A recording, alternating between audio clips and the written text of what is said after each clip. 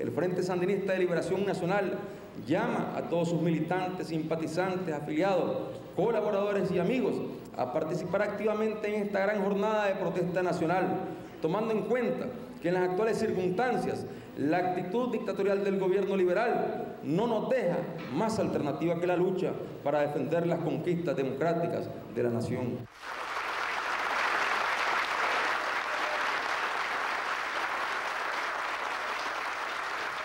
En nombre de la ley, aplica políticas económicas con altas tasas de interés para los productores,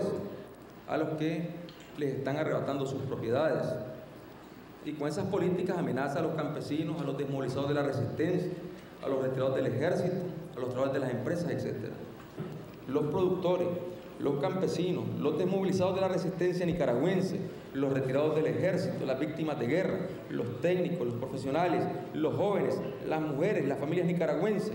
cada vez más agredidos, más humillados y empobrecidos, han venido protestando, resistiéndose a las políticas gubernamentales y demandando un cambio de actitud y un cambio de políticas económicas para que la estabilidad, la reconciliación y la paz puedan ser una realidad.